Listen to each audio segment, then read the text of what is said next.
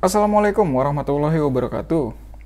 Banyak informasi dari teman-teman di kolom komentar pada video sebelumnya, yaitu upgrade televisi TCL di seri tertentu dari Android 9 ke Android 11. Nah, di sini teman-teman mengalami bug seperti saat televisi dimatikan dan dinyalakan kembali harus pairing ulang remote-nya. Dan ini yang saya alami yaitu transisi antar menu yang agak lambat atau seperti lag kayak gitu. Oke, kita bahas firmware Android 11 di video kali ini.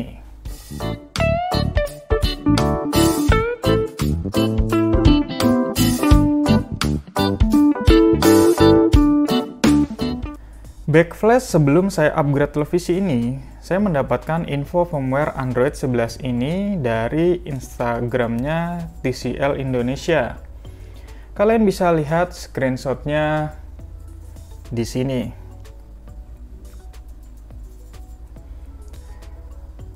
Nah, dari screenshot ini saya berani bilang firmware ini official dari TCL Indonesia. Dan untuk cara upgrade-nya, mereka share di YouTube. Tetapi saya lupa screenshot, jadi mungkin teman-teman pernah lihat cara upgrade televisi TCL ini di YouTube-nya TCL.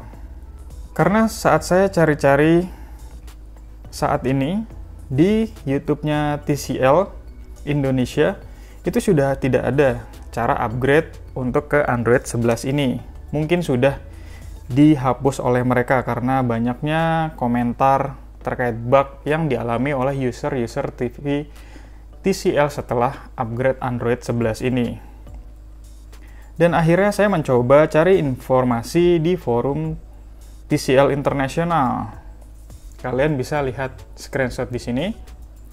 Firmware versi 674 Android 11 ini masih beta alias belum stabil ya. Jadi wajar jika banyak bug sana sini dan YouTube TCL juga menghapus cara upgrade Android 11 ini.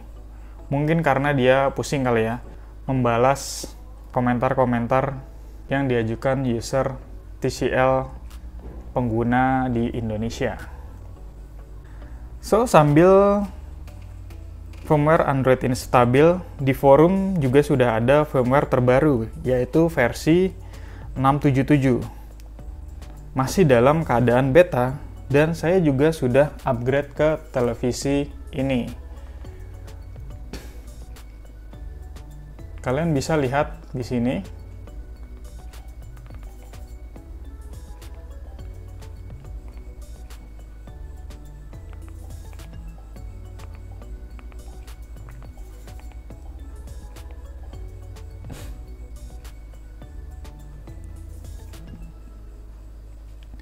Kalian bisa lihat di sini, saya sudah menggunakan versi 677.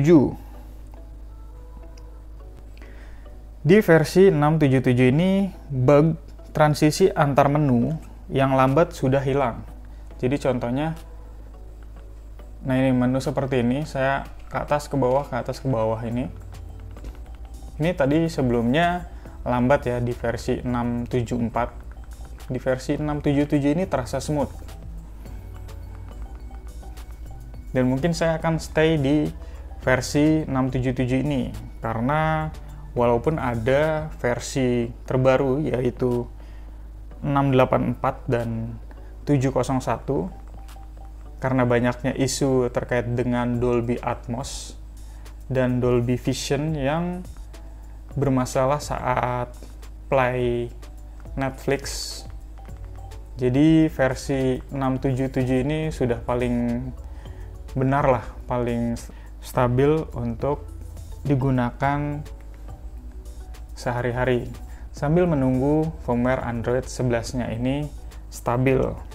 Nah, untuk kalian yang ingin mengupgrade ke versi 677 ini, yuk kita langsung cara upgrade-nya saja. Dan seperti biasa ya, semua resiko ditanggung sendiri. Oke, berikut caranya.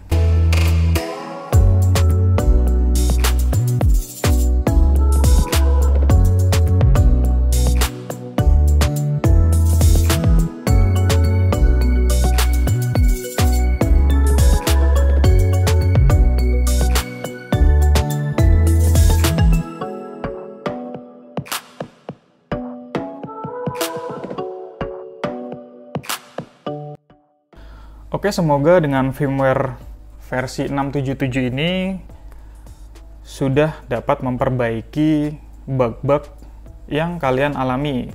Oke, cukup sekian video kali ini. Semoga bermanfaat. Wassalamualaikum warahmatullahi wabarakatuh. See you next video.